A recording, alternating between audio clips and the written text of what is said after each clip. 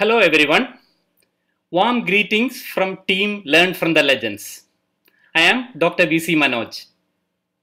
Hearty welcome to the 18th webinar in our series and the second one on birth asphyxia and neuroprotection.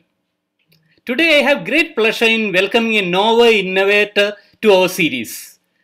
I happened to hear his talk in one of the NBS webinar series and I must admit I was thoroughly impressed.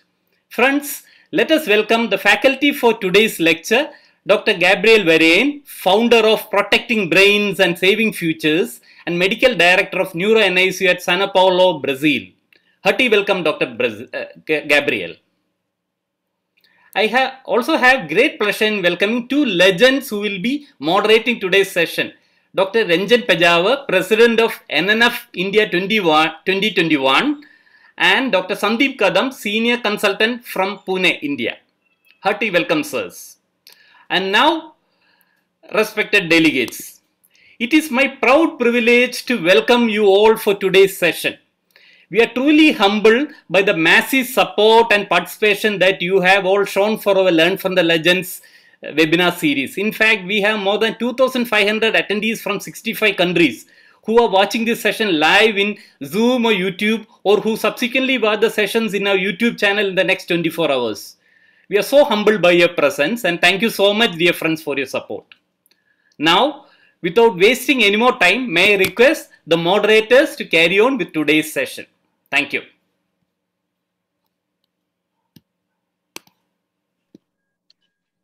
Good evening, everybody. It is my great pleasure to be here on the occasion of the webinar Learn from the Legends.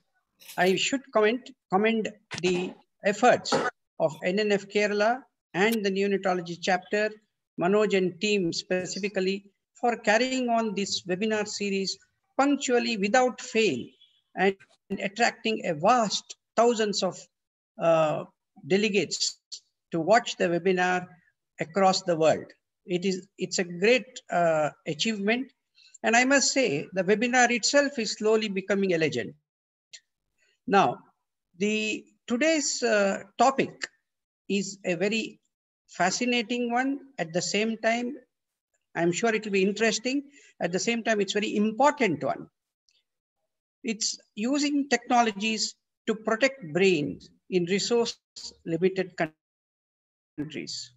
What can be more relevant to us? We have the technology in India. We have problems with HIE. Even today, 20% of the neonatal deaths are due to HIE. Uh, and also, we have a lot of morbidity, which is remaining. So it is very important for us to look after the brains of the living ones and also to minimize the damage to the brain. What Dr. Gabriel has done is in addition to the research which goes on in therapeutic hypothermia and various other uh, aspects of brain damage and brain protection, he has gone one step ahead and he has innovated ideas to monitor the brains and the neuroprotection strategies in a large number of hospitals using modern technology. He's in, uh, in collaboration with Microsoft. He's using artificial uh, in, uh, intelligence and remote and real-time assistance he's providing to all these hospitals. That is really great. He's not only a scientist and a researcher, he's gone one step behind in implementing whatever has come out of that science and research. So without much ado, I will hand over the mic to my co-chairperson, Dr. Sandeep Kadam from Pune, and uh, he will uh, formally introduce Dr. Gabriel Variane and also make his comments. Over to Thank you, you sir. Thank you very much, sir. Uh, it's an honor to uh, introduce Professor Gabriel Variane. He's a medical director at the Neurological NICU at Sao Paulo, Brazil. He's a staff consultant. Most important, he's a founder of Protecting Brain and Saving Future. As rightly said by uh, Dr. Ranjan Pejaver, sir, we, are, we have a lot of problems of HI. We have technology, but more important, using that technology in our perspective, especially for the lower middle income countries and most important using the technology not only helps save our babies but it's very important to have intact survival and i'm sure with uh, dr gabriel who has done his graduation from brazil at sao paulo he's also started an organization. He's using technology. His uh, area of research has been neuroprotection in lower middle income countries. He's been collaborating with the imperial college at london and we also has done a lot of uh, collaborative research uh, with from the Stanford University in United States. So I'm sure with his vast experience in learning and teaching, and he has been involved in focus in spreading a knowledge in various countries through various webinars and seminars. I'm sure at the end of this lecture, we are going to have enriched minds and we can use this in our day-to-day -day practice to save babies and have more and more intact survival. So without wasting much time, over to you, sir. Thank you very much. And we would also request all the delegates to write their questions in the QA box so that at the end of this lecture, we'll take those questions one by one. So please write your questions in the question answer session so that we can cover these questions at the end of the lecture. And uh, I'm sure with uh, many participants, it, it's going to be an interactive session. So we look forward to having more and more questions from all of you. Over to you, sir. Well, uh, in first place, I would like to say thank you so much for the organizing committee and to Dr. Ranjan and Dr. Sandeep for the kind introduction. And again, I feel definitely honored to be part of this uh, fantastic uh, webinar conference series and again very very honored to be talking about a topic that i particularly think it's really really important that how can we add technology uh, to help us to take uh, care of these babies at high risk for brain injury in our scenario. So i will start sharing my screen. Please let me know if you can see this right now and I will just uh, move to full. Just a sec. Can you see my screen? Yeah, it's fine. Okay. Now just a sec. There you go. And wow, so the topic I'm gonna talk today is using technology to protecting brains in resource limited countries. And just before uh, starting our, uh, our talk, actually I would like to have a very, very quick poll with you on only two questions that I would like to set a baseline and actually understand how our scenario from the delegates from this webinar is uh, different or similar from the one I live here in Brazil. So I'll gently ask to, to you to fill and uh, answer the poll, only two questions. There you go. So the first question uh, would be asking, so how does your center uh, provide therapeutic hypothermia for neonates with perinatal asphyxia and moderate or severe HIE? And I would like you to answer if yes, you are providing therapeutic hypothermia and you use a servo-controlled thermal mattress, or yes, you're using, providing therapeutic hypothermia, but you're doing passive cooling with ice gel packs or turning the heated crib off, off or no, you're not providing therapeutic hypothermia, but you can transfer your baby with HIE to a center that provides cooling or no, uh, you're not able to provide cooling in your center and neither being able to transfer these infants and please feel free to answer.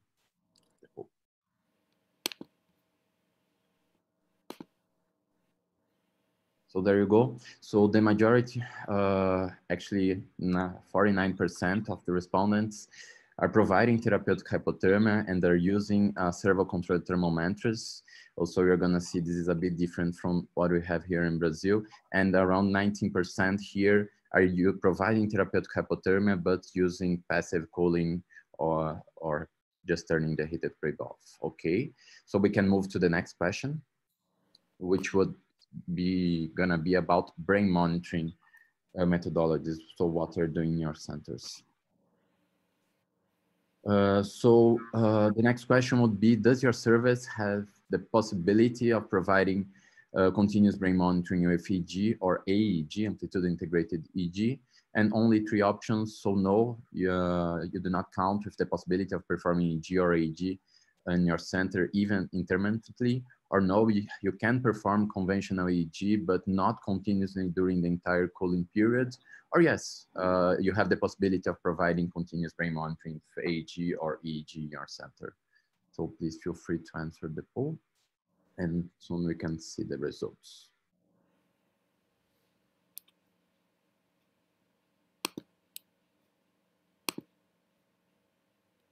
So around one third for each part, right? But only 38% actually can provide continuous brain monitoring during uh, the cooling period during this first 72 hours of life.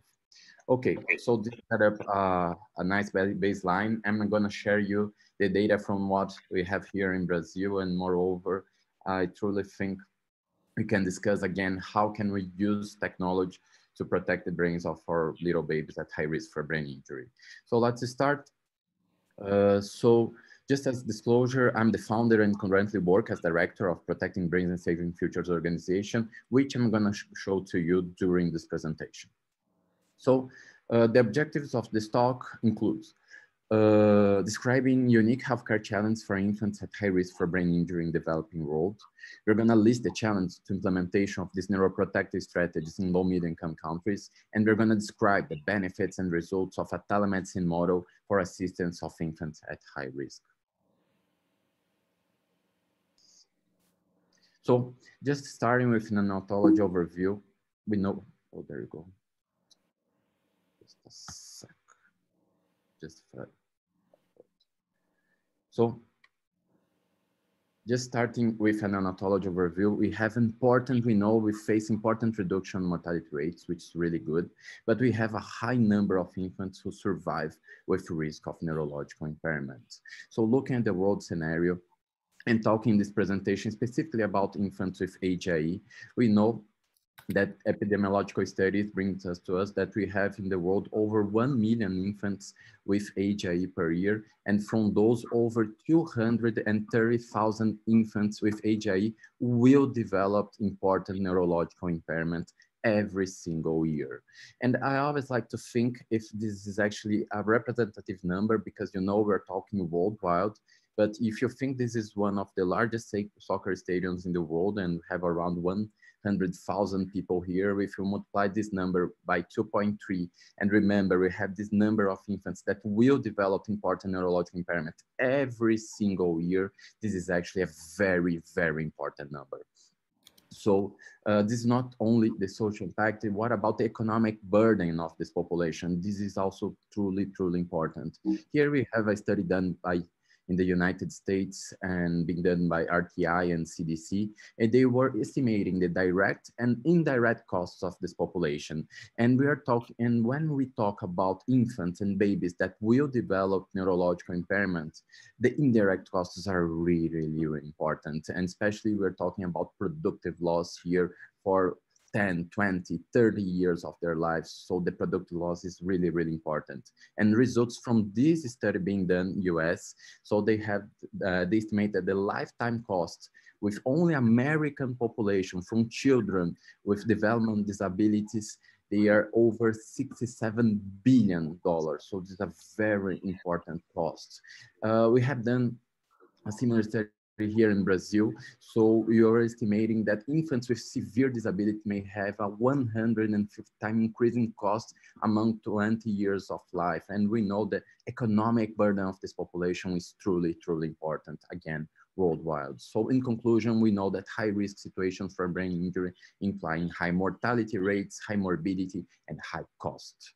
And by uh, looking into this, we know that today we face an evolution in the focus of the NICU care, that now we want to improve neurological neurodevelopment outcomes. So we want to reduce the mortality, but with good neurological and neurodevelopment outcomes, and this makes lots of sense. And the first question would be, okay, but how does neonatal care vary across the developed and developing world? Because, you know, we may face completely different scenarios, and of course, we may face different levels of assistance. So I'm invite you, all of you, to look under this scenario under the lens of a new perspective.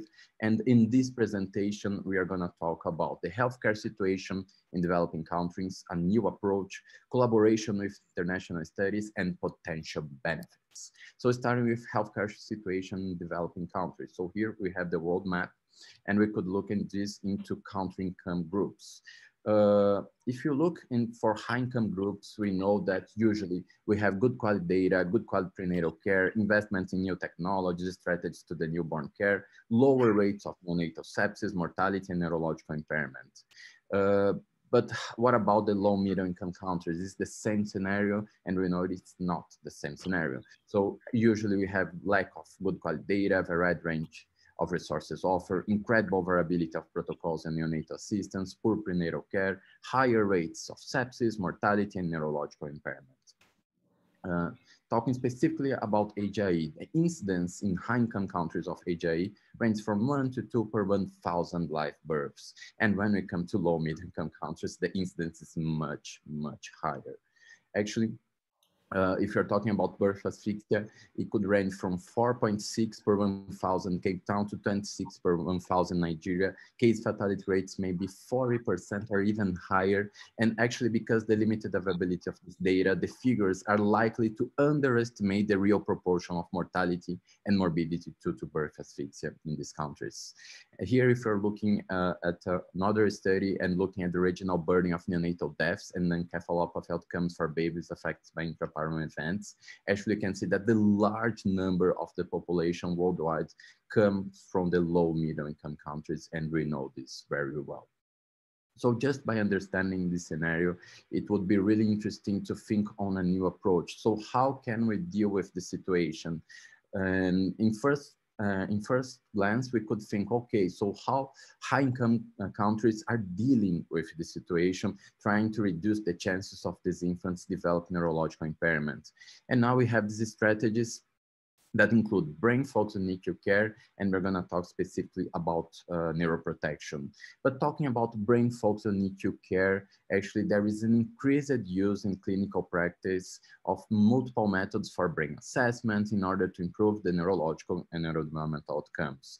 And here a very strong concept that's uh, is growing over the entire world is the neurological neonatal ICU concept. This is a picture from universities in the United States, and they teach us uh, some principles on pillars of this concept that includes continuous brain monitoring, neuroassessment, neuroimaging, and neuroprotection.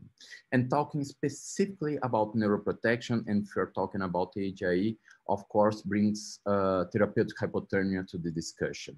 And we know that, especially in high-income countries, this is being applied as a standard of care for infants with moderate or severe uh, HIE on a large scale by different projects and programs over the world. In 2015, I got the privilege to visit University of Cambridge in UK and to know this project, which is the BBOP or Baby Brain Protection that in 2012 implemented on a large scale the that infants in the east of England that would uh, have birth asphyxia and moderate severe HIE would receive proper cooling in the centers.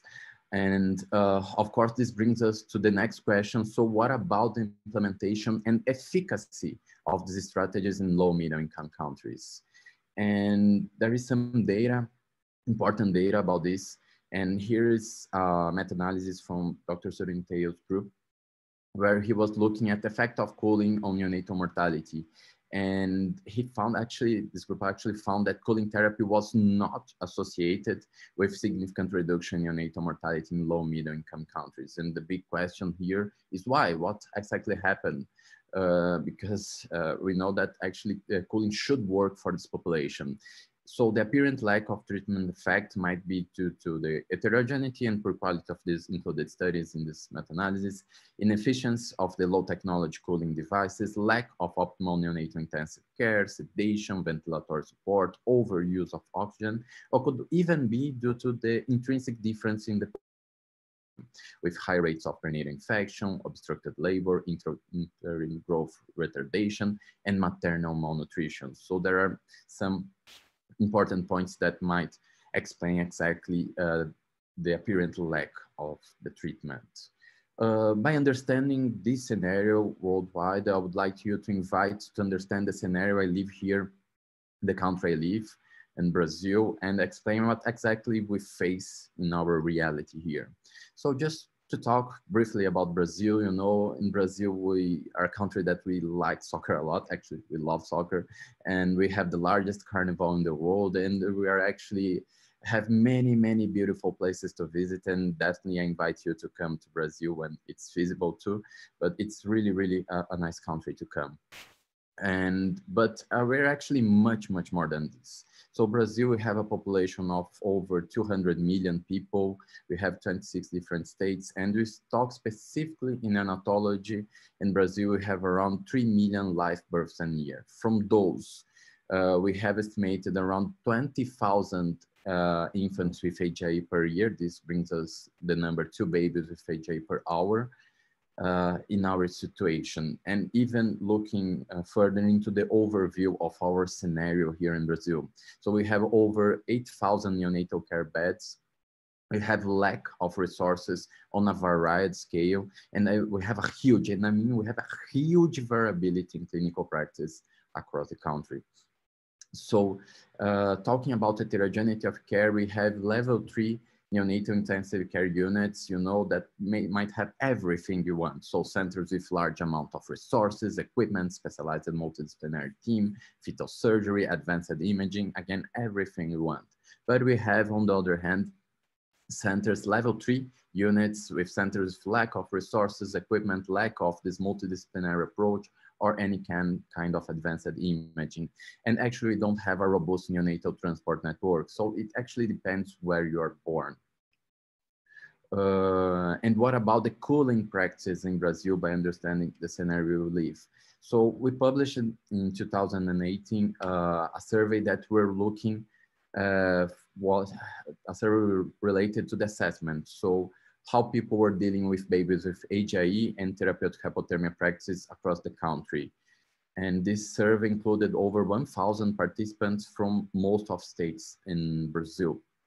So what are, were the results? And that I told you, they are a bit differently from the pool we just got. So for all uh, respondents, actually we found that 62% of professionals reported using therapeutic hypothermia, uh, which in a first glance is quite good. Uh, but reasons for not providing would include lack of adequate equipment, uh, knowledge, training with this intervention from these professionals that do not provide cooling. 94% stated either not having a referral center to provide cooling or unable to perform the transfer within the first six hours of life. So again, it actually depends where the baby is born, if he will receive or no this or not this treatment. But talking specifically about the, the professionals that responded that they were providing cooling to the population, we found that only 26% were using a servo-controlled system, so the vast majority would do passive cooling or use of ice gel packs. Uh, for assessment of encephalopathy, and this is something that I think might be some troublesome.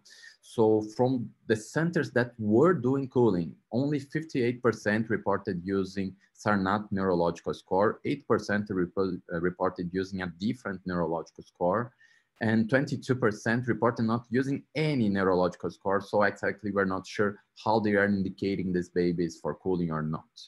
And what is really, really troublesome is that from the ones that were using neurological score, only 20% had received any type of training for that. So again, how we're choosing and selecting our babies for the therapy is something that really, really uh, worries us. And talking specifically now about brain monitoring and imaging. So you understand the number of centers that were doing cooling, who are using the proper equipment, who is doing the neurological assessment adequately. And what about brain monitoring and imaging? So we found that only 12% of respondents who provide therapeutic hypothermia had aEEG or EEG readily available, and only 4% had access to neurophysiology services and continuous video EEG. And talking about imaging, only 19% would be able to perform the MRI, and 43% actually could pro uh, provide an MRI in an outside location, but it was really not clear whether this was being done or not routinely for these babies. And a good sign here, 72% uh, of centers had access to neurology, uh, neurology consultation, which is quite good uh, quite good for the, this population. And the last part of the survey, we asked for follow-up. So how these babies after discharge are being conducted. So follow-up was unavailable at almost half of centers. And when available was established multidisciplinary follow-up program was presented on only 21% of the centers. So again, as conclusion, we found that results from this large survey demonstrate that therapeutic hypothermia has been implemented in Brazil, but with significant heterogeneity in most aspects of its management. And actually, for final results, we have a huge variability in the criteria for therapeutic hypothermia indication, management, method of cooling and monitoring, and even inappropriate follow-up. So actually by understand this scenario uh, a couple years ago i remember that by that time i thought that i got a brilliant idea by that time you know. I came directly to the government and just asked them wow you know we just have these very nice examples from high income countries. And you know why should we not start a large project to implement adequate care for infants at high risk in our country? You know people are doing this. We should do this. And i was really really excited by that time. And when I came to the government, they just said, "Oh, Gabriel, we are not high income country. Don't have money. Forget about it. We are not. You know, we are not. Uh, we don't have money for this. And you know, no money, no honey. So sorry. There is no way we could implement this in Brazil right now. And of course, by that time, I was quite frustrated. But then we started to think about possibilities. And okay, so we have world, uh, across the world different programs that implemented this on a large scale. Uh, we live in Brazil, which is a continental country, a very large one here in South America. We don't have much money, that, that's true. Uh, but maybe, maybe, maybe technology might help us uh, to overcome these barriers. So this is where we started, where we started thinking about a new project around four years ago, which is the PBSF project or Protecting Brains and Saving Futures project, which is a low cost, self-sustainable project that united a group of specialists that you want to teach, enable, implement protocols of neuroprotection, early diagnosis in infants at high risk for brain injury on a large scale in our country. So we are a private organization. We want to make a united effort with hospitals, physicians, industry, healthcare insurance, Ministry of Health, everyone, put everyone together for the same goal. So as I told you, we started PBSF project around four years ago. And actually for this project, we have two main pillars. The first one would be teaching and implementation of methodologies and protocols. And the second one would be our intelligence project. And we are gonna run through this presentation for both pillars. So starting with the first uh, one. So which were the initial aims for PBSF projects. So we wanted to promote longitudinal training and use of standard international validated protocols. And I may say that training and education is a really, really important part of this project. Uh, implementation of structured therapeutic hypothermia across a large number of centers, implementation of brain monitoring, and this may include video EEG, aEEG, NIRS for infants at high risk, again, on a large scale. And the big thing here, and I'm gonna repeat this word many times during this presentation, we want to promote homogeneity of care across the country. This is really, really important in this project also, homogeneity of care. So the big question or the next question here, okay, how could we do this in a country, you know, where we don't have many resources? And we truly think, and we've thought about this four years ago, that by using information technology, a telemedicine system and developing what we call the CSI, or Central of Surveillance Intelligence, it's a monitoring center, we could achieve this. So the CSI is actually a monitoring center that can connect to any NICU across the entire country and now even internationally. And of course, when we do this, uh, we can have a, a, database that can connect physicians, research centers, universities, industry itself.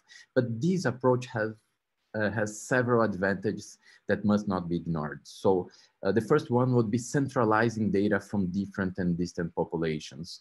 We have a highly specialized live assistance, 24 hours by seven, high level of teaching, longitudinal training. It's different from doing, you know, I'm gonna do a course and implement a protocol. No, I do a course, implement a protocol, and I follow each patient that is included in that protocol. So this is really interesting. Uh, intensive support to the clinical staff, again, 24 hours by seven, you have a specialized team aiding the NICU and the physician at the bedside. This facilitates the implementation of methodologies and protocols in different centers in a lower cost, cost model, which is really important. And this allows, again, homogeneity of care between centers with different amount of resources, which is really, really nice. Uh, so this is just a video that I'm trying to explain to you how this works. Uh, so we have here a baby being monitored in a remote center all the information goes directly to a cloud system, to a cloud system to uh, Microsoft Azure. And we have a monitoring center and a remote team that 24 by seven is responsible for reviewing this exam, providing feedback, discussing the clinical case, and again, promoting homogeneity of care. So just to make it more visual to you, so here we have a baby being monitored in a city called Belém in the Pará state of Brazil. This is in the north of Brazil. So he's receiving cooling, he's receiving brain monitoring. Here, the information travels over 2000 kilometers and comes directly to our monitoring center here in Sao Paulo, Brazil. So, and everything, of course, stays, uh, this information stays on a cloud servers, uh, centralized in a very uh, security, uh, very secure way. So talking about IT and security itself, so we have a physical environment, which we have the cloud systems, the monitoring center, all information comes to a high availability data center. We have local data protection, a central security management console, all data is uploaded encrypted and all remote access of course is always authenticated and we have a central remote access management. Again it's very important so we have a very robust security system to deal with this data from these babies traveling through the internet so talking about this and this introduction about PBSF project, it's time to share with you some of our experience. So again, we started this project four years ago. And when we started this, we started with three different centers in the city of Sao Paulo. And right now we have experienced this with over 30 different hotels across the entire country, have centers in all regions of Brazil right now. And again, uh, from this baby being monitoring, we have remote access by the CSI 24 by 7, and all information is stored in a central and secure database. Uh, moving forward, again, so I we do implement brain monitoring and another piece of information, another piece of this project that's really, really important again, is promoting homogeneity of care. So we use standard protocols and a very robust education program. And from the protocols that we implement too is are really, really important. And the first one would include the cooling indication and we follow the NICHD criteria and management for these babies. And we have brain monitoring indications and I'm gonna share to you what we're doing right now. So we have this protocol that's adapted from Lucile Packard Children's Hospital from NeuroNICU at Stanford. So there are 14 indications that we're doing brain monitoring for these babies. So babies that uh, have HIE and are receiving cooling, babies with seizures, the preterm population, especially if they have complications such as IVH or shock, congenital heart disease, severe IVH or hydrocephalus, inhibit errors of metabolism, metabolic disease, CNS malformations, central nervous system infections, severe sepsis, hemodynamic instability, ventilatory instability, hemodynamic significant PDA, depending on the case, babies with mild HIE that are not receiving cooling, and beer, uh, babies with severe hyperbilirubinemia, and babies uh, in, under ECMO. So this is our protocol that we implement across the centers that we are working. And again, a very important part of this project is education. So we built a course that we call NeuroNICU from theory to clinical practice.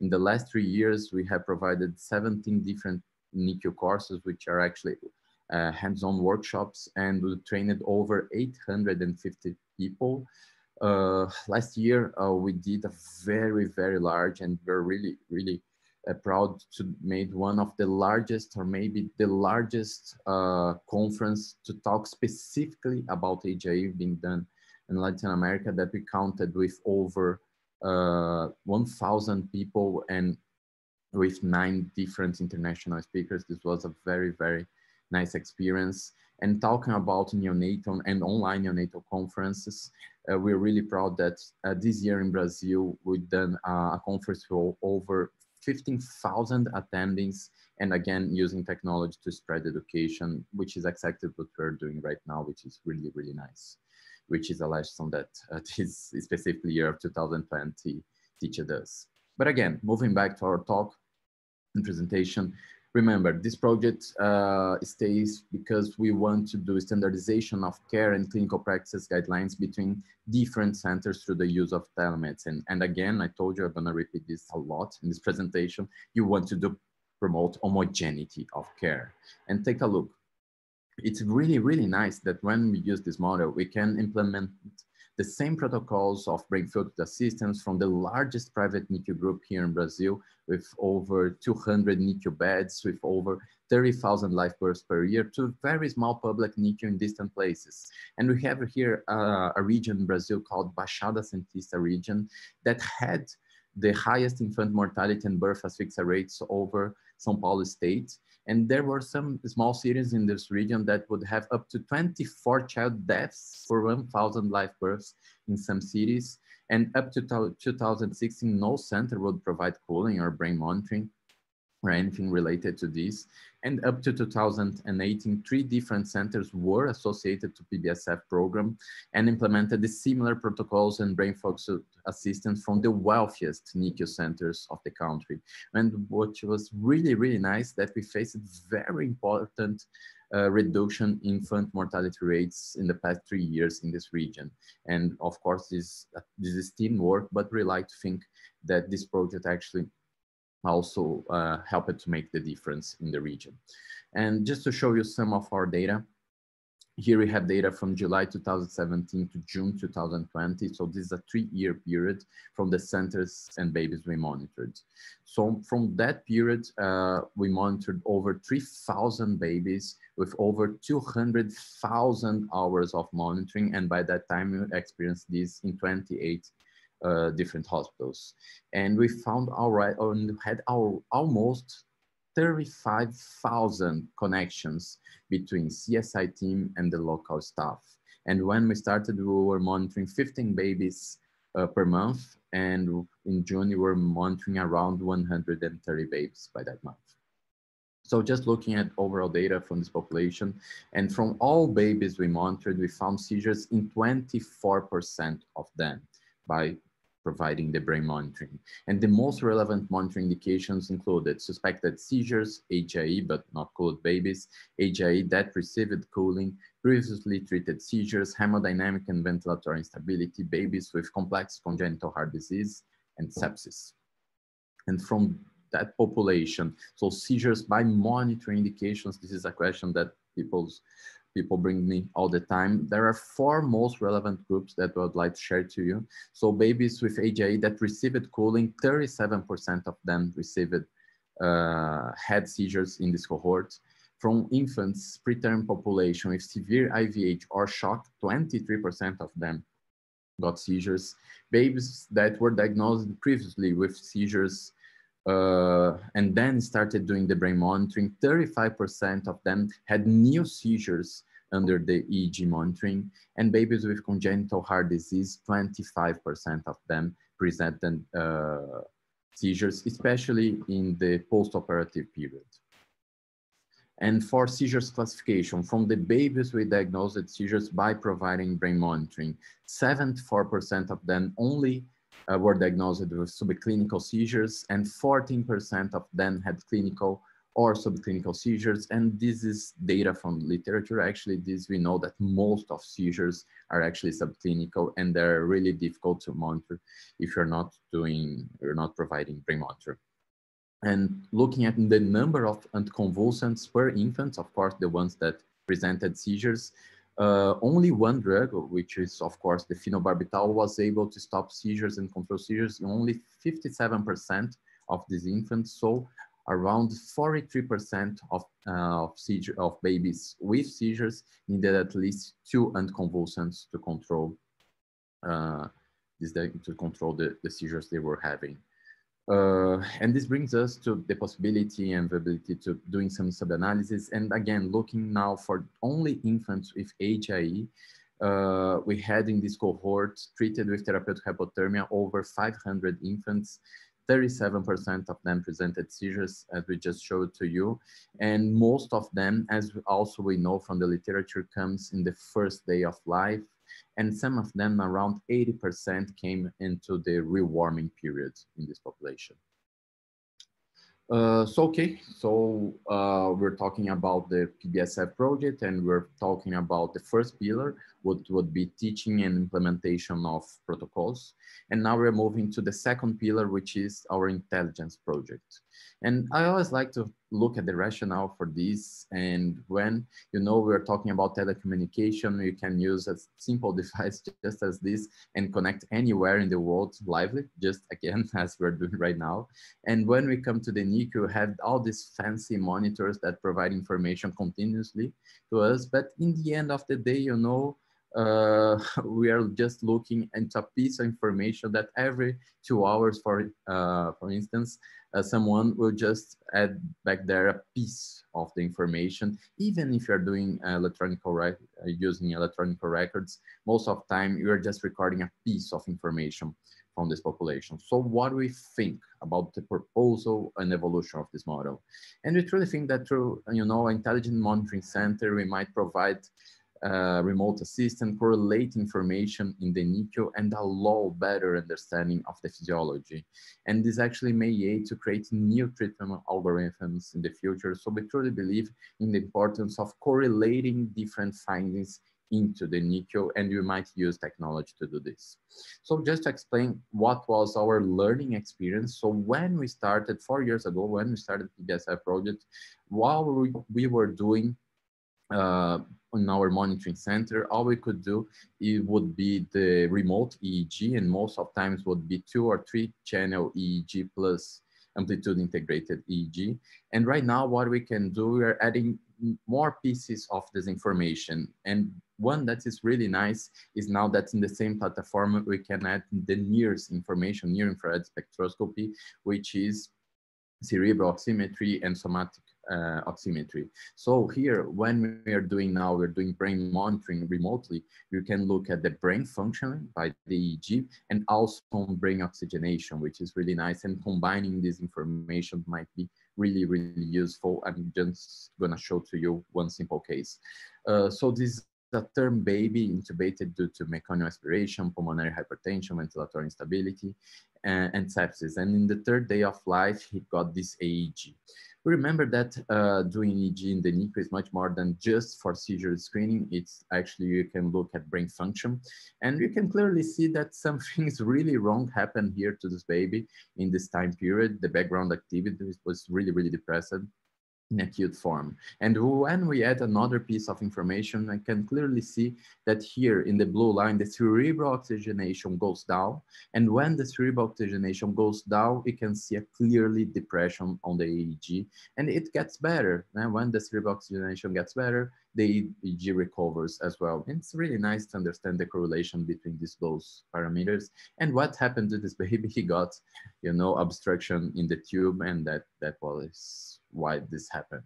But you know, ideally, we would not only correlate the brain monitoring findings, but actually all kind of findings and vital signs from this baby. So uh, not only putting EEG and NIRS together, but why not putting SpO2, heart rate, temperature, blood pressure, everything together in the same platform. So now we're working a system similar like this, that here we can see the temperature, the pulse oximetry, the cerebral oximetry, heart rate, the EEG, and so on. Uh, and here's uh, just a case discussion. So how putting this together might allow us to understand or better understand the physiology. So here we have a preterm baby with 33 weeker, third day of life, he was diagnosed with meningitis. And here is the trend line monitor for him from all vital signs and brain monitoring. So here we have temperature, the NIRS findings, the pulse oximetry findings, and heart rate. And this is a 38 hour window. So the trace is very compressed. Take a look at the correlation. So here, when I have a decrease in pulse oximetry, I have an increase in heart rate and a decrease also in NIRS. And if you look at this, this repeats every many, many times during the trace. And this makes sense, you know, you have a decrease in pulse oximetry, you have repercussion of this uh, on NIRS and also on heart rate. This makes sense. Uh, but take a look in the end, in the last curve here. So here we have a sustained decrease on cerebral saturation. We have moments of important hypoxia, but it recovers sometimes. And we have moments that the heart rate goes down, then it goes up, then it goes into the middle of the way. So something different is happening in this part. And when we add another piece of information at the EEG, we can clearly see and this was confirmed by EEG, this baby uh, went on status. And when he went on status, probably the consumption of oxygen in the brain was higher, and that was why the cerebral sets went lower. And you know, and you could see all these desaturations and the heart rate going upside and down. But again, I think the beauty of this kind of system that we can better understanding what's happening to the physiology of this baby. So this is our new operational concept. So now we have, have here the baby being monitored the hospital. We collect data from all, from the vital signs monitoring, from the EEG, from NIRS to integrate the data. We send the data to a cloud system and then our team at the monitoring center can better understand the physiology and give feedback to the team. So what's up next? Uh, and you know that uh, what would be really interesting for our system and from our scenario, we would like to create uh, accurate alarm systems. And there are many groups and many nice publications on this already. But what we are working is with a system that sent in mail to the neuromonitoring team, you know, for automated seizure detection or EEG pattern changes. And again, when we're doing brain monitoring, it's not only for seizure detection, it's also looking at brain function. And take a look at this case we have a term infant, Apgar scores of two, four, five, seven. The blood gas uh, has important uh, acidosis. This baby uh, underwent cooling. He got seizures within the first day of life, but with 24 hours of life, this baby got this background activity would uh, call for continuous normal voltage, which is really, really good for this infant. And actually the prognosis right here was quite good. Uh, but then received an alert. This was 4.50 a.m. And the new EEG pattern was found like HISO, HISO from Hisoelectric. And this is the exactly time point at 4.50 a.m. in the morning. So this raised a red alert. So we called the center and said, oh, something's happened to this baby. And the physician told, no, is the baby having seizure? And I told oh, actually worse than this. The background is, activity is very, very depressed. Please you know, go see this baby. And he said, oh, you know, the heart rate is quite normal, blood pressure is normal, pulse oximetry is definitely normal. And you know, he's not moving, but you know, this baby has HIE, maybe it's because of that. And they recall, no, there is something really acute happening to this baby. And uh, the physician at the bedside went to do an echo and he found a cardiac tamponade. And we know that cardiac tamponade, if underdiagnosed, might lead this baby to a cardiac arrest and new brain injury or even death. And for this baby, actually here, uh, the physician was doing the Marfan puncture and this baby actually never got a cardiac arrest. Here's the moment that we have the depression on the brain activity and in less than one hour, it was already recovering, which is really good. And the outcome for this baby was quite good. So he was discharged 10 days of life, normal MRI when he reached home uh, with seven months, nine months of age, here with one year of age. The baby was already walking and also, you know, shopping, which is really good for the economy of the country as well. And again, this is, I think this is a good, uh, a good case, a good example of how reaching uh, uh, earlier alarming might make a, a, huge difference on the evolution of a baby. And this brings the discussion to a new level because you know what's the evolution for this. Of course, we would like to analyze this correlation between all monitoring parameters. We can work with big data analysis from this national database, machine learning system, creation of new risk scores, promoting earlier and more accurate diagnosis of brain injury. All these, there are many possibilities for us to doing this. And I would just like to show uh, the system we are developing right now. So this is the uh, the view from the physician and the monitoring center.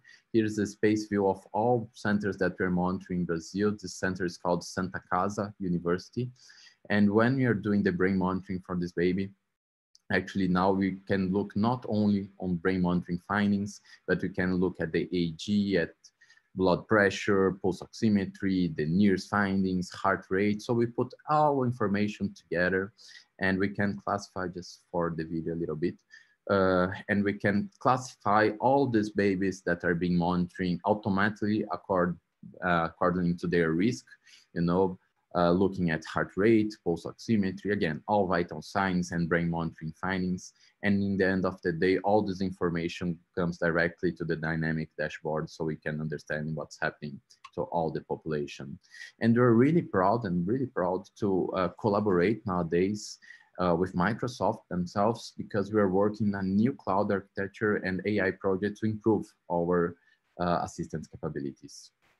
So in the end of the day, uh, the CSI or our Center of Surveillance Intelligence is much more than just a monitoring center. It's actually a project of medicine, engineering, information technology uh, that has a specialized team that runs a server web in order to get real-time information from the associated centers that provides uh, remote assistance, filtering, storage, classification, and protection of this information working with capability of correlation, this is stored information creation of what we call neural networks, and in order to promote knowledge generation, clinical research. So in the end of the day, uh, the CSI is a project of diagnostic assistance, information, and knowledge generation. So, Gabriel, uh, so I understand the work you're doing, but you know, when PBSF works in a hospital, what exactly you do? So we work as an advanced telemedicine model in order to aid and structure the NeuroNICU concept across different centers. How? By implementing the technology protocols and all required methodologies, promoting initial and longitudinal training. Again, education is so important in this project, associated with monthly video conference with all associated centers, implementation of the CSI, connect 24 by 7, allowing the use of standard protocols, case discussion, remote brain monitoring, promoting data storage and analysis of NICU results, and working as a highly specialized assistance model with homogeneity of protocols, clinical care, ensuring the optimization of methodologies and resources. And which is really nice, it's much easier and faster applicability if you're comparing doing this one by one center across the entire country. Uh, just very briefly, and we're ending our presentation for future directions. Uh, we want to have now a closer neurophysiology approach and implementation of remote video in a larger number of centers uh, with amplified telemedicine assistance, uh, considering uh, giving consultations for neurology, genetics, cardiology, infectious disease team, neuroradiology development, care and follow up and assessment is really important and really a barrier for this project. So what do you want to do for follow following this population. So through, uh, throughout the use of technology, again, we are planning to have longitudinal connections to every single infant family who was assisted by PBSF with our own follow-up assessment PBS team, collaboration with uh, local follow-up clinics, and all data again uh, from follow-up will be stored in single database. That's the idea. So as future directions, right now we have experience in over 30 hospitals in Brazil, but our goal in the next few years is to reach at least 100 hospitals across the country. And of course, this brings us to another level of discussion. And our goal is also to promote an international brain monitoring network. And this is feasible. Of course, there are barriers, but this is definitely feasible. So uh, and in this new approach, the way you are use, we are using technology here in Brazil to aid this population at high risk for brain injury, I would like also to share with you collaboration with international studies. And this is a study that we are really proud to be part of. This is the PREVENT study or prevention of epilepsy by reducing neonatal encephalopathy. The chief investigator is Dr. Sudhin Thayyil. The trial sponsor is Imperial College London. And the, the study is funded by NIH. So the rationale of this study that is being conducted in India right now is that 50 to 70 million people, there are 57 million people with epilepsy worldwide. We have estimated 12 million people with epilepsy in India. The incidence of epilepsy in low middle income countries is two or three times higher than high income countries. The perinatal brain insults accounted for the largest attributed fraction of pediatric and adult epilepsy in these countries, and programs to improve perinatal care in low middle income countries may prevent a substantial proportion of epilepsy. So what does study propose? Uh, we have four intrapartum interventions that consists in constant birth companion, fetal surveillance during active labor, labor management by e-partogram, uh, brain-oriented early newborn care with resuscitation, and the assessment of newborn outcomes includes EEG and MRI. And for PBS collaboration, what we're doing in this project, we created an advanced telemedicine model and an EEG cloud-based system to the PREVENT study. And the number of estimated monitoring infants in this study is gonna be 2,000. So what exactly happened? So uh, Dr. Sudhin Thayyil asked me from Brazil to implement this system directly in India. So we are running this study in three important centers in Bangalore, Calicut, and Hubli and providing EEG monitoring in the centers. And all this information can be assessed by the remote research team, which includes Dr. Sudhin Thayyil, Dr. Ronit Pressler, and, and that are located uh, in London, UK. And all this information, you know, from the local hospitals comes to the cloud and this can be accessed by the remote research team. So this is what we're doing in this study. We're providing this architecture and just to show to you how does this work, this infrastructure and security is like this uh, brief video. So we have information coming from the three hospitals. We have an XM database replication, the PBSF central database, and we can have feedback and reports from the remote research team. And very briefly, the data security precautions. Uh, all local devices have security systems that provide malware protection, management, updates. Everything's controlled by a central cloud. All locations have equipment data backup uh, capabilities with advanced technology duplication, encryption, compression, optimizing again all the data transmission bandwidth and ensuring this additional layer of security. And communication between the local equipment and the central servants is always uh, done with encrypted data, protecting the privacy of transmitted data. And this is a picture of part of this team. This is a very large study from the Prevent team. Again, I'm very honored to be part of this group. So to end our presentation, I would just like to remember some potential benefits of preventing or uh, children to develop neurological impairment. And of course, the first one is the economic benefit. We know that by reducing the number of patients with neurological impairment, there will also be a significantly reducing the direct and indirect costs of this population. This is very important when we want to convince people to invest in this kind of methodologies. Uh, for the hospital itself, it adds technology, intelligence, and a remote team to aid in the treatment for neonates at high risk. And of course, the largest benefit ever is what we think is that we have sometimes the opportunity of changing life histories, allowing more infants to fulfill their uh, physical and cognitive potential. And this is really, really important. And so in conclusion, strategies to reduce the chance of brain injury implying reduction of mortality, morbidity, and cost. And this is truly, truly important. Uh, and just for acknowledgement, I would like to say thank you to all my team. This is actually part, our team is, is growing quite fast, uh, that work on daily basis, providing and allowing this project to grow. And there is a line, there is a, phrase that I always like to think and bring into my talks, that we think that pre uh, preventing neurological impairment is actually a large, a very, very big challenge. And not just challenge for Brazil, but actually worldwide. So this is a line from Anthony Lake, former executive director from UNICEF, where he says, somewhere a child's been told he cannot play because he cannot walk, or another, she cannot learn because she cannot see well, that boy deserves a chance to play. And all we, that's the most true, all we benefit when that grow and all children can read, learn, and contribute. Well, the path forward will be challenging. It's not easy to prevent neurological impairment, but children do not accept unnecessary limits, neither should we. And then we uh, end our presentation. And just as one last announcement, I would like to uh, say that we are conducting together with Dr. Reni Bashir, Dr. Guilherme Santana, who presented early in this conference series, and also Dr. Topun Austin from Cambridge. Uh, we are running uh, a survey called Practice Related to the Management of Infants with HIE.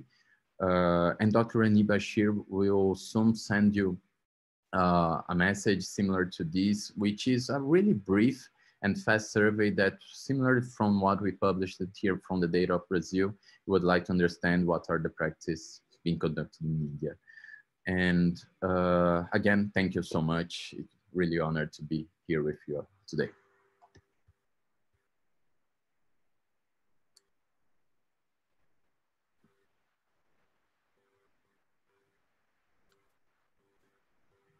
Thank you. Thank you, Dr. Gabriel Variane. That was a fascinating lecture.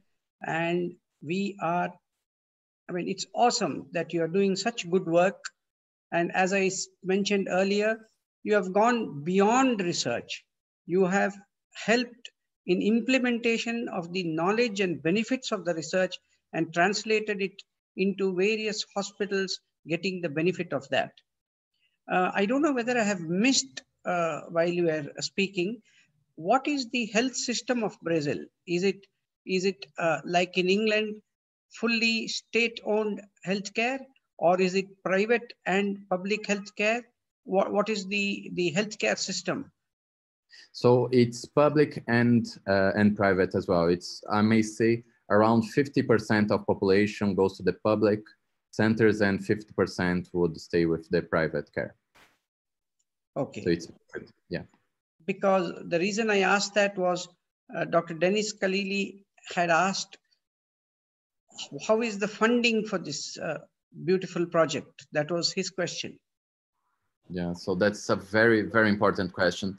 And actually, uh, I think I'm gonna share, I have uh, a question that, you know, people ask us all the time. So, you know, how this was economically feasible, what is the funding? And uh, actually what we're doing to the hospital, we are providing uh, a service. So we charge the hospitals or the public centers or the public centers, we try to charge them for the brain monitoring hours, for instance. So we provide this service and in the end of the day, there is a report and we try, you know, to discuss with the hospital this importance and then we charge it. So uh, we had initial people who invested in this idea, but in the end of the day, the, proj- uh, the project is self-sustainable because we are able to charge for this kind of assistance. And what percentage of your hospitals are purely private and what percentage of your hospitals which are under your program are, uh, you know, uh, purely government or public? Yeah, that's a very good question. And thank you so much. So uh, actually again half. So 50% of all these, these infants that we monitored over 3000 around 50% come directly from the public centers and 50% from the private. So what you understand is again that this is a kind of uh, assistance this is a kind of model that could be uh, implemented in both public and private centers. And again the i think the the huge issue here and the the, the most important step on implementing and actually convincing people to you know to adopting this kind of assistance in their center. And doesn't matter if it's private or public it's actually showing them that you know by investing in preventing neurological impairment in children they are not losing money. Actually they are you know winning lots of money because again this is economically feasible because the economic burden of this population is terrible it's terrible so the cost effectiveness of this kind of approach is important. Yeah. So there's there's a lot of health education you have done and you are continuing to do about uh, these things. Okay, I'll now hand over the uh, mic to my co-chairperson, Dr. Sandeep Kadam. Can you take over and uh, proceed, Dr. Sandeep? Yeah, Dr. Gabriel, it was an excellent presentation and you have shown how we could use uh, uh, technology to the benefit of our babies, especially in neonatal neurology, because we want to serve, save babies, but we want them to have intact survival. And uh, there are a few questions which have come up. Uh, does EEG done in first six hours in a child who is in stage 2 HI exhibit changes to warrant giving therapeutic hypothermia? Yeah. So yes. So what do we do for all centers that we work, so uh, we implemented this equipment at the hospital. So the equipment is always in the hospital. So we train all the, the staff, the nursing and medical staff to start using the EEG monitoring prior to six hours of life if the babies, you know, they have HIE.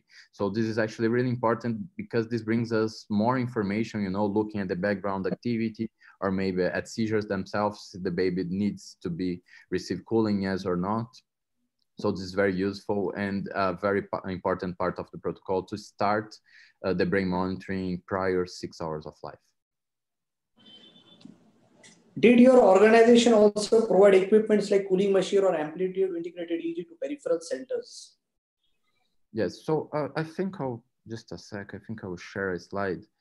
Uh, so what actually happens? Yeah, so yes, again, this comes to the, the question how this is economically feasible.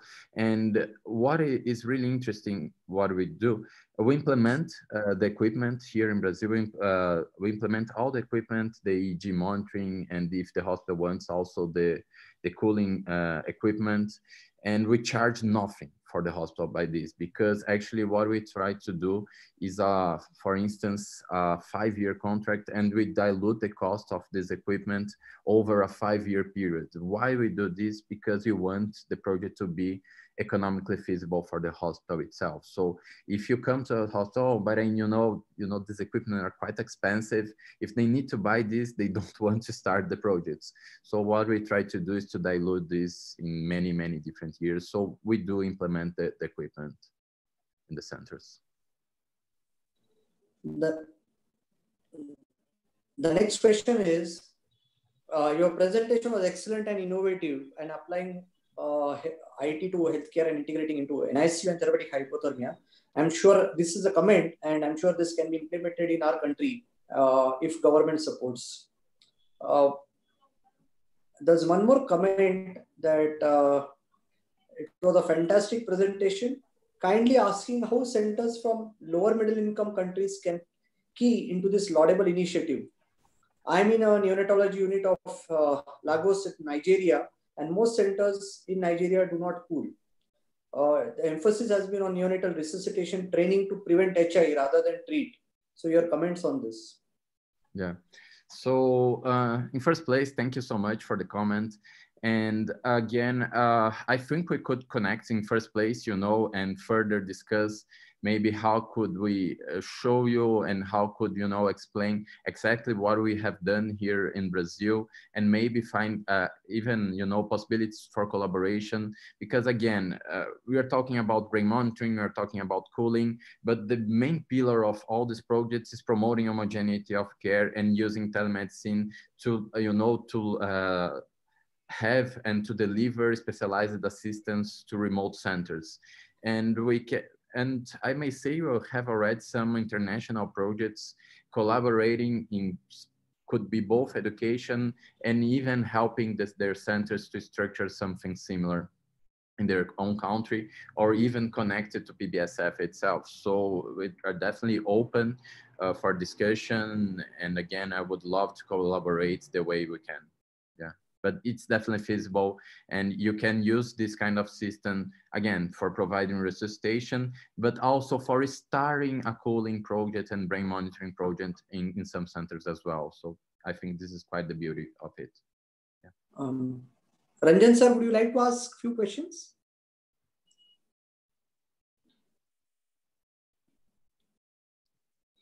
So there's one more question. Uh, how was the neurodevelopmental follow-up done in those babies in Brazil, whether it was done at your center or in the peripheral units? Yeah, so that's an excellent question. And uh, what happens again for this this very very moment moment? Uh, is that we still rely, you know, so we work working in 30 different centers. So we still rely in each center capability of uh, promoting this follow-up. And this will differ a lot from each center to another one. So we have few centers that have, you know, this a multidisciplinary approach and follow up very well structured but we have some centers that you know they cannot follow up these, these children so what we want to do to pbsf project and we know this is a very important pillar uh, and if you want to show that this actually works it's important to follow up this population somehow so what we were working right now we're developing a new system you know it's like technology like an app that the families that received the PBSF assistance can be connected to us. And we are also uh, having some partnerships with other follow-up clinics and again trying to promote this follow-up in different ways. But this again is a big challenge because one thing is you know we are trying to do follow-up in a single clinic and build a well-structured program, uh, program. The other thing is trying to build this in 30 different hospitals across the entire country. So this is a bit of challenge. There's another question. If the EEG is normal, but the baby has all the criteria to suggest HIE stage 2, are we not giving uh, these babies hypothermia? So that's a very good question as well. And I think this brings uh, an important discussion. But if you follow most of uh, international validated protocols and even the NICHD criteria that we, we follow and use here in our centers, uh, actually, uh, if the baby has, you know, you do the neurological exam, and if the baby has moderate or severe uh, HIE, even if you do not see these abnormalities in the EEG, even though you're gonna provide cooling for this baby. So it's really, really important to be very well trained in the neurological exam for including babies in therapeutic yeah. hypothermia. During the study, was there any observation of correlation of brain monitoring with amplitude integrated EEG and MRI changes for prognostic value? Yes, very, very good question as well. And yes, yes, actually we have even some, some publications in the literature, but more on. So what is really nice if when we have a baby with HIE, and what we look are two things. Basically, we look what we call some call some studies might call time to normal trace, which would be how many hours uh, the baby needs, you know, to recover at least this continuous normal voltage, and uh, and it's really important. And we have some systematic reviews and many studies stating, you know, if the baby is receiving cooling and if he recovers uh, to this normal trace between 48 up to 48 hours, he has a really, really high chance of having uh, neurological outcome. And there are many studies also correlating this with the findings. So if the baby has, you know, sustained uh, pathological background activity for 72 hours and or over this, this is usually very well correlated with MRI abnormalities.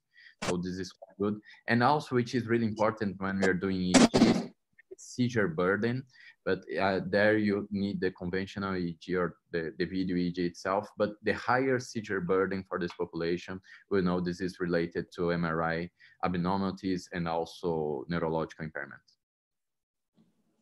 Um, I know that this is beyond the scope of uh, this project, but it would be useful to extend this telemonitoring concept to obstetric care and improve the monitoring of women in labor so that HI can be prevented.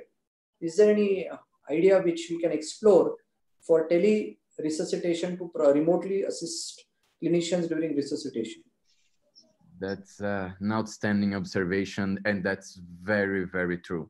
So I think when we're dealing with hypoxia ischemic encephalopathy, birth asphyxia, it's very important, you know, to you know that uh, there's there is very important improvements that needs to be done in prenatal care during labor just after birth in the NICU and even in follow-up. So you, uh, finding ways to use telemedicine to improve every single one of these pillars is truly, truly important.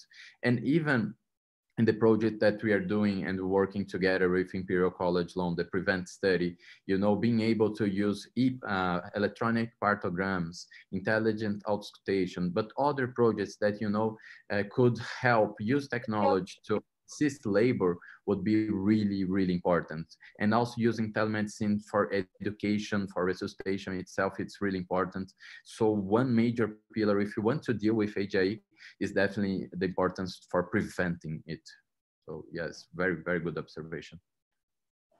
Ranjan sir, are, uh, would you like to ask a few questions? Yeah, I mean, I, I, I, I wanted to make a comment that the last question or last this thing which was asked is, is very sensible one.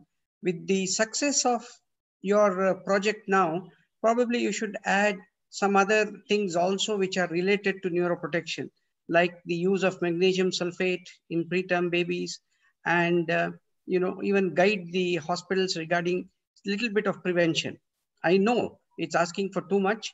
You are still uh, uh, establishing and strengthening your foothold in one field but you should keep that in mind now there are people interested in knowing what is the criteria for choosing a center in your project yes so uh, in first place, again, I completely agree uh, with you, Dr. Ranjan. Again, uh, I think that's the, the path you want to move forward, you know. So again, looking at prevention and look at preterm population. So for the use of steroids, magnesium sulfate in this population, again, preventing neurological impairment even before the baby is born is, is really a major step and we want to move forward this direction.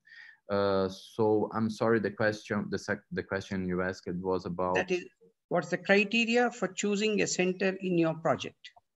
So actually the major criteria for choosing the, uh, the center, you want to, you know, uh, of course, I think ideally every single uh, NICU would be able to provide at least, you know, uh, brain monitoring and implementation of protocols. But what we try to find here in Brazil is actually the referral centers uh, from each uh, city, each state, you know, that concentrates the, the largest amount of babies being born in that region. And what we try to work also, and we don't do not have this very well established in Brazil, but we are working with projects, you know, to build a more robust transport system network. So uh, what we want to find is centers again uh, that might be referral centers and concentrate the expertise for this population and to provide both brain monitoring and cooling. And we truly think this is the way, you know, we can concentrate better the, the investments that needs to be done. There's another question which says, during the study, was there any observation of correlation of brain monitoring with amplitude EEG and MRI changes for prognostication? Yes. With prognostic value? Yes. So we, we also do, do have a, a, publication of a small study that published several years ago looking into this. Uh, but again, we have very, very nice data from the literature showing that the uh, prolonged, you know, sustained abnormalities in background activity, especially if, if baby is receiving cooling, and he did not recover at least discontinuous or continuous normal voltage with over 48 or 72 hours of life, the chances of this baby developing neurological impairment, and also this is very well correlated with MRI findings, is really, really huge. And the other one that uh, when we look at the, the EEG, especially for EEG, if the baby has a higher seizure burden, then the chances of this baby having abnormalities in MRI is quite huge. There's another question which says, Brazil is an expensive country. How much cheaper is the monitoring and cooling system compared with Canada or Chile or Colombia? Mm, that's that's quite a, a, good question because exactly uh, I'm not sure how much is what is exactly the cost of brain monitoring in those countries. Uh, so I cannot uh, answer this 100% uh, what I can say, it's definitely, it's probably much, much less expensive than in the high income countries as well. But what, uh, what we try to do, uh, we don't set up like a, a, price or something like this. What we always try to do is a a specific project for that center and we always try to start the project somehow you know what's minimally necessary to make it feasible and then with the uh, learning experience curve then we start you know uh, implementing more monitors or things like this. But again, as one of the most important parts of this project relies on the education and implementing the protocols, even That's if right. we start with only one monitor and, you know, we make it really, really uh, not expensive, then we can also already do a difference. Okay. I mean, uh, have you had a lot of grants from your government or from international agencies have they been interested in this uh, gabriel? I mean if i if i can take the liberty of asking that question. Yeah no you can definitely. And we are uh, uh, i may say that in the early beginning we had none absolutely nothing actually. We had some people that believed that this might be important and then helped us with with some investments but we did not have anything from grants from the government itself. And now we are trying for it's and expanding itself, then we are applying again, but we still uh, are waiting for the, the answers. Dr. Kadam, any more left? I think, sir, we have covered majority of the questions. Uh, and we have uh, also read a comment from Dr. Gautam Suresh uh, regarding tele-resuscitation. Um, well, Dr. Gabriel, I had one question in your journey over the last four years when you started what were the difficulties and how you have overcome? Uh, because if you look at if you ask any nicu in the in the country that you need to get a machine for amplitude integrated machine and the cost is something like uh, 14 or 15 lakh rupees. It's a huge amount of money. Um, and then that actually repels the clinicians in terms of prior, prioritizing the expenses and revenue in buying such an expensive uh, bit of machine. So, yeah. are there any uh, way forward or, or in getting a economical or a cheaper uh, brain monitoring so that it can be implemented in a much wider scale uh, in the country or all over the world in the LMIC without compromising the quality? Yeah so that's that's really really a great question. And actually these are the barriers that i may say that i face every single day during my last four or five years.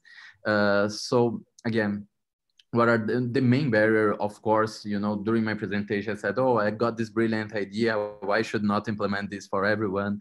I came direct at that time and you know we don't have much money. It's difficult to implement something like this. So definitely uh, the resource the limitation of resources i may say is the, the largest barrier. And it's tough because you know when you come to the clinicians when you come to you know the physicians, the nursing staff, when you go to conferences and you show that it's important to provide adequate care for these infants, all they say, uh, it's really it's it's really easy to convince the clinicians that you know this is something important but the big thing and and the big step is convincing actually you know the the directors of the hospital uh, and even you know the public centers say okay but why should i invest on this and again uh, i think that the beauty of this kind of project is this allow us to implement this, these protocols in a lower cost model why why is this lower cost model because again using telemedicine allow us to concentrate the expertise uh, the information, the resources. As more centers get connected to the network, it usually allows, you know, lower costs for the entire model, which is really nice. Uh, also what we, we faced and we use it uh, again is that implementation uh, of the model that the center do not require to buy the equipment because they don't want to you know do this initial investment which is quite huge. And we know these equipments are really expensive. So we try to dilute this in years and years of you know of partnership with the centers. But uh, i may say that you know uh, also that makes a, a big difference and allow us you know uh, to get through these barriers is the commitment of an entire team that truly believes in the importance and the possibility of growth of this this project and organization itself. So this requires lots of persistence and hard work because it's never really really easy, you know, to start a new center, and convince people that they need to invest on this.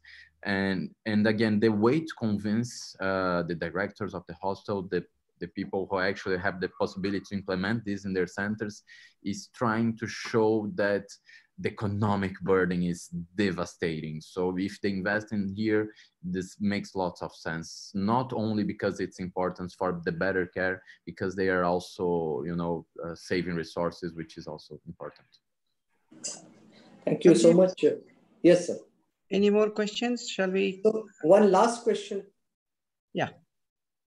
Uh, can this no novel concept be upscaled to other areas of neonatal care apart from neonatal neurology? Yes, I completely think so. You know, again, uh, as future directions, we are, we are thinking, you know, using these specialized assistance with uh, consultations from, you know, from team from cardiologists, genetics, infectious disease teams, especially for centers who are not able to have these specialists in their own centers. So why should not you use telemedicine to aid the centers somehow? And again, in a lower cost model. I think this definitely can uh, scale to other areas of neonatal care. Fantastic. Um, I, sir, we don't have any more questions. Uh, uh, Ranjan sir, would you like to make any comment? Um, I would just like to say that it is it's an it's amazing. What you have done is amazing, Dr. Gabriel. Your presentation has been brilliant. Your idea is very innovative, and your progress which you have made in four to five years is awesome. So I am sure this is all due to your commitment, dedication, and your hard work. And we really wish you all the best and lot of young minds must have thought of lot of ideas listening to your uh, uh, your presentation. See they say that invention is the mother of necessity.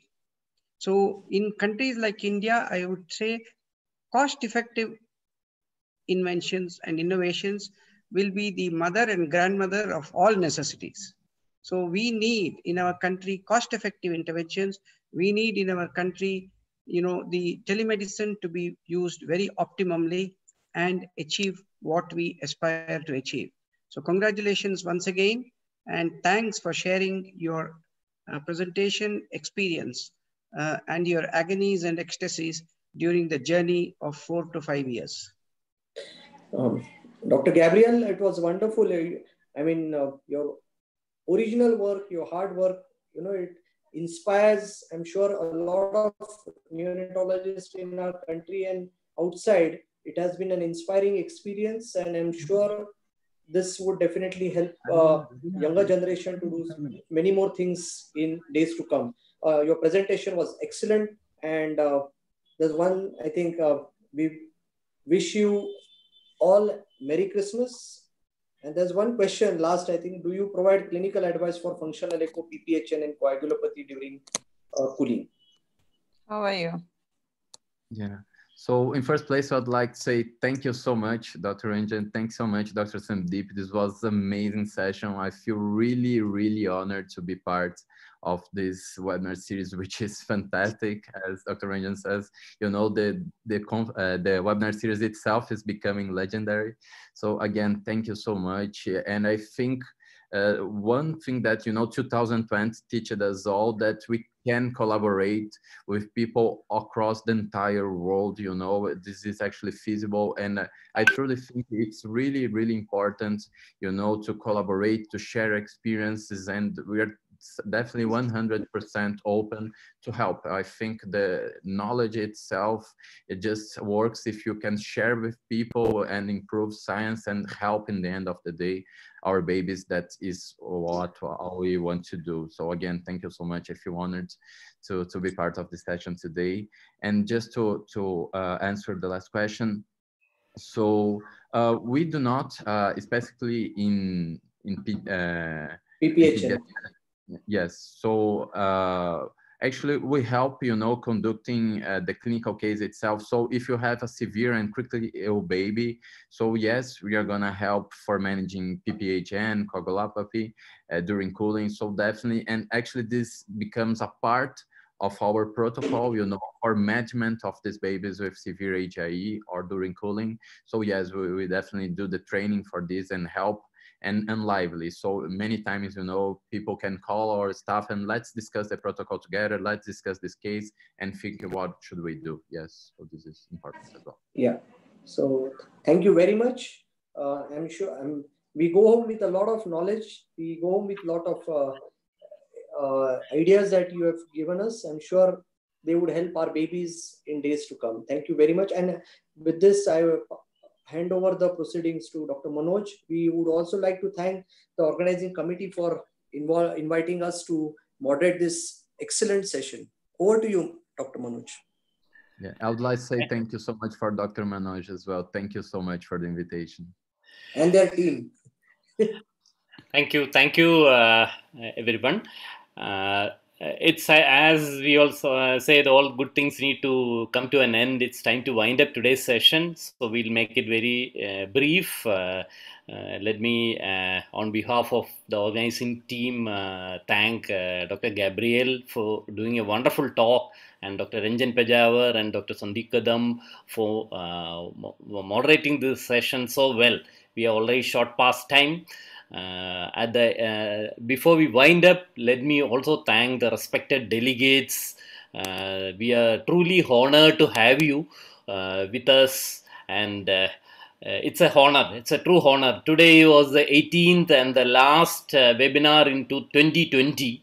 We begin 2021 with a practical issue the 19 our 19th webinar will be on 5th January uh, on what dogmas in neonatology are in need for change. I would humbly invite all of you to kindly join us for that as well. With that, we say goodbye and uh, uh, see you next year, 2021. Thank you so much. Thank you. Goodbye, Manoj. Thank you and Happy New Year. Thank you. Thank you.